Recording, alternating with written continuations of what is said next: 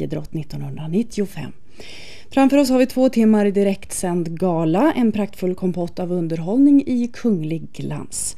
Katarina Sjöberg och Christer Ulfbåge kommenterar på era platser färdiga gå i kanal 1 och TV2. Sändningen från VM i friidrott sponsras av Telia, Snickers, Torn och Coca-Cola.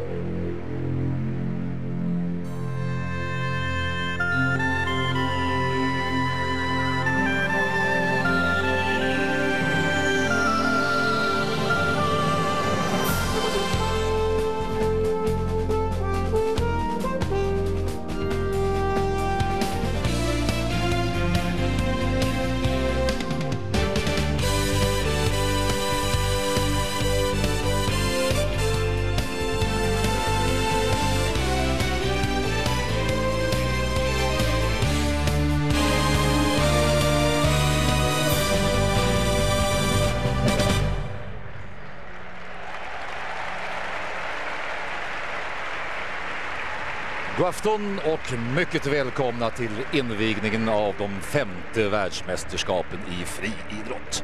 Efter Helsingfors och Rom och Tokyo och Stuttgart står nu Sverige och då framför allt förstås Göteborg i fokus.